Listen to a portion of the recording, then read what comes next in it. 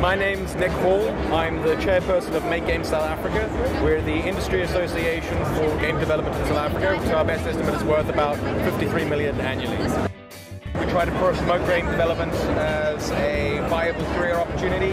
We liaise with government, we do a lot of policy development work to try and make it easier for game developers to work in South Africa.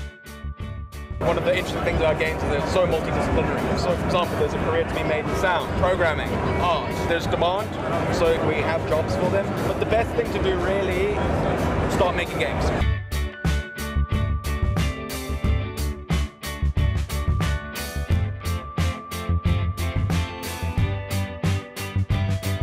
Today has been really successful, I think. It's got lots of crowds. Uh, Cape Town's really come out, which is fantastic. We've got a lot of interest in sort of our stand and with everything going on, the esports is having a really great time. So yeah, it's been awesome.